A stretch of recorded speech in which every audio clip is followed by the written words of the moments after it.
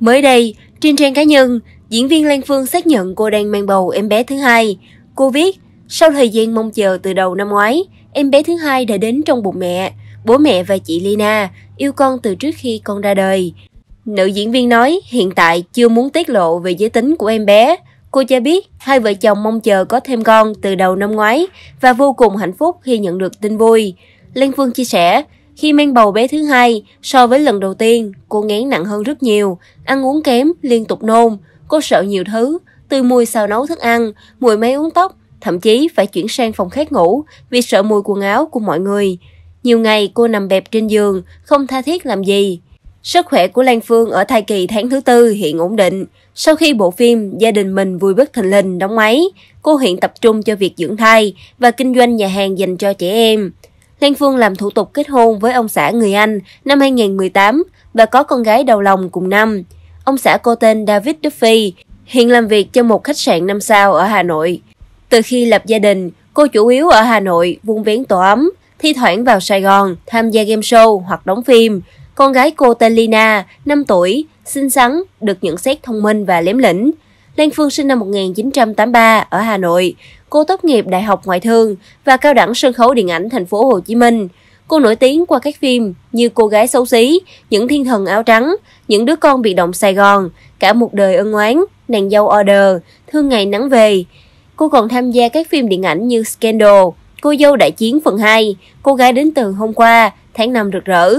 Trước đó, trong một cuộc trao đổi, diễn viên Lan Phương trải lòng chuyện lấy chồng Tây vì giàu, tâm sự về mẹ chồng ngoại quốc. Lan Phương, nữ diễn viên chuyên trị những vai ác trên màn ảnh nhỏ, đã khá thành công khi bắt tiếng. Chị bảo, nhờ ra Hà Nội làm phim mà chị đã gặp ông xã ở nước ngoài và có một gia đình hạnh phúc. Đây là lần đầu tiên chị lên tiếng về chuyện lấy chồng Tây vì giàu. Nữ diễn viên cho biết, hiện tại cô đang quay phim Rẽ trái muộn màng với dàn diễn viên miền Nam. Bên cạnh đó, Lan Phương cùng làm việc với chị Việt Hương, một bộ phim web drama chiếu trên YouTube. Lan Phương cũng làm nhiều việc với kênh YouTube riêng của mình. Lan Phương khá bận rộn với công việc làm nghệ thuật. Cô cho biết thêm, nếu chỉ đóng phim thì cách xê không thấm tháp gì so với chi tiêu, nhu cầu cuộc sống. Cô nhận phim vì mình thật sự thích. Lan Phương không muốn đối diện với cảm giác ở nhà chăm con và cảm thấy vô dụng. Là người phụ nữ hiện đại, cô nghĩ mình nên độc lập tài chính. Cô muốn được sống trong cảm giác đang lao động, sáng tạo. Phim vừa đóng máy, người mệt như thế, nhưng nghe đến vai diễn mới, cô lại háo hức. Và tất nhiên, khi đi làm thì thu nhập có, lo cho con được nhiều hơn, khán giả nhớ tới mình hơn. Khi được hỏi, con còn nhỏ, chị sắp xếp thế nào để vừa chăm con vừa đi quay? Lan Phương trả lời, thời gian đầu, khi tôi bắt đầu xa con để đi đóng phim, tôi rơi vào trạng thái buồn đến mức vật vả vì cảm giác không gặp được con nhiều. 7 giờ tối con đã đi ngủ, trong khi tôi từ trường quay về cũng phải 9-10 giờ tối. Lắm lúc đang ngồi, tôi tự nhiên khóc nức nở vì thấy nhớ con. Nhiều ngày, tôi chỉ có 10 phút ở bên con mỗi sáng để cho bé bú, chơi với con. Đến đoàn phim buổi trưa, khi mọi người nghỉ ngơi thì tôi ngồi hút sữa. Những ngày nghỉ là khoảng thời gian tuyệt vời nhất vì được ở bên con cả ngày. Giờ thì con đã lớn, có bà ngoại phụ giúp nên tôi cũng đỡ vất vả hơn nhiều. Chuyện tình của Lan Phương và chồng cũng nhận được nhiều sự quan tâm của khán giả. Cô chia sẻ, cô thấy vui chứ. Cô hy vọng chuyện tình cảm của mình sẽ làm cho mọi người có cái nhìn cởi mở hơn về những mối tình xuyên biên giới. Cuộc sống của cô hiện tại chỉ xoay quanh việc chăm chồng, chăm con, đi quay phim. Khi ra Hà Nội, thay đổi thời tiết, môi trường, mọi thứ đều khác, nhưng cô thích ứng khá nhanh. Có lẽ vì cô sinh ra trong một gia đình Bắc, nói tiếng Bắc. Cô nói, từ khi có con, tôi ít có thời gian dành cho bản thân, cho chồng càng ít hơn. Cảm giác hạnh phúc với em bé quá lớn, bù lại tất cả những gì bị mất đi. Tôi có cảm giác khi chồng con bên cạnh, tâm trạng tốt thì mọi khó khăn, vất vả cũng nhanh chóng tan biến. Khi được hỏi có sự khác biệt nào khi làm vợ của một anh Tây cao lên khênh không, Lan Phương trả lời vui vẻ. Làm vợ một anh Tây thấp hay cao, kể cả làm vợ của một anh chồng châu Á, thì tôi nghĩ cũng không có gì khác biệt. Cao hay thấp cũng chỉ là chiều cao thôi, còn lại vẫn xuất phát từ tình cảm chân thành, cảm thông, lắng nghe và chia sẻ với nhau.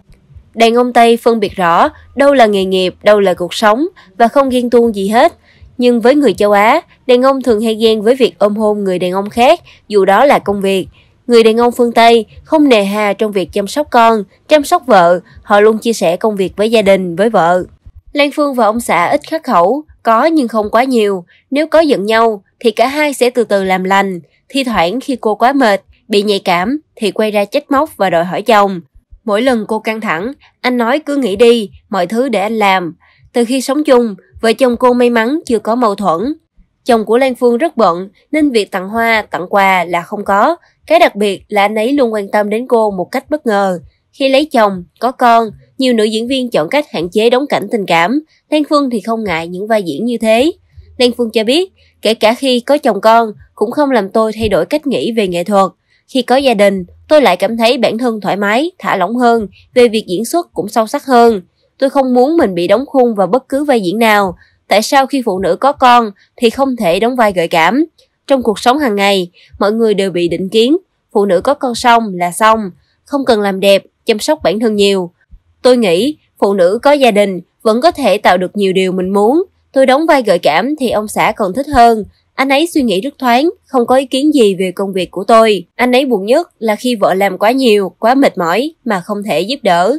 Lan Phương may mắn không phải làm dâu. Bố mẹ chồng cô đều là người phương Tây nên văn hóa họ rất khác với phương Đông.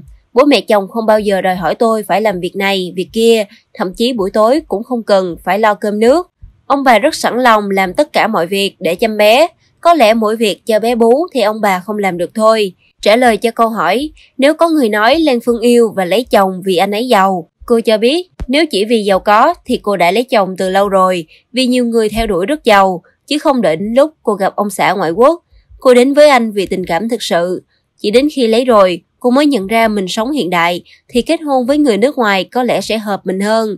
Khi thấy Lan Phương diễn thân mật với bạn diễn, anh ấy không ghen vì anh hiểu được đó là công việc chứ không phải ngoài đời. Chồng cô có một lần đến phim trường, đúng cảnh cô và Thanh Sơn hôn nhau trong phim Nàng dâu order. Lúc đầu, cô cứ nghĩ anh ấy sẽ không có vấn đề gì, nhưng đến khi quay, anh ra chỗ khác. Bây giờ cô mới hiểu, anh cũng không thoải mái khi thấy vợ đóng cảnh thân mật với người khác, nhưng anh hiểu và chấp nhận công việc của vợ.